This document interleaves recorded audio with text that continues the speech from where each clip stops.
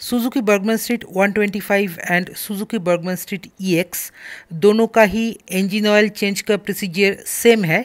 इसके लिए आपको एक 17 एम mm का बॉक्स स्पैनर चाहिए होता है, नहीं तो एक 17 एम mm का रिंग स्पैनर चाहिए होता है ताकि आप जो ड्रेन बोल्ट है उसे अनस्क्रू कर सको और उसे बहुत सावधानी से अनस्क्रू करके आप यूज्ड इंजन ऑयल को ड्रेन आउट कर सकते हो और उसके बाद पोर इनलेट से नया इंजन ऑयल को पोर इन कर सकते हो इन द इंजन पर यहाँ पे एक ट्विस्ट है। ये जो Suzuki Burgman Street 125 and Suzuki Burgman Street EX में ड्रेन बोल्ट यूज़ किया गया है, ये एक सॉफ्ट इजीली एक्सपर्नेबल एल्यूमिनियम से बना हुआ है। इसे जर्मन बोल्ट भी बोला जाता है। आसान शब्दों में ये एक सॉफ्ट एल्यूमिनियम से बना हुआ बोल्ट है, जिसे कि बहुत ही सावधानी से हैंडल करने की ज़रूरत है। अगर आप ओवरसाइज्ड या अंडरसाइज्ड टूल से इसे ऑपरेट करने जाओ तो ये डैमेज हो सकता है। अगर ये एक बार भी स्लिप हो जाए तो ये डैमेज हो सकता है। इसका जो ग्रूव है, ये बहुत ही नर्म होता है, सॉफ्ट होता है। इसलिए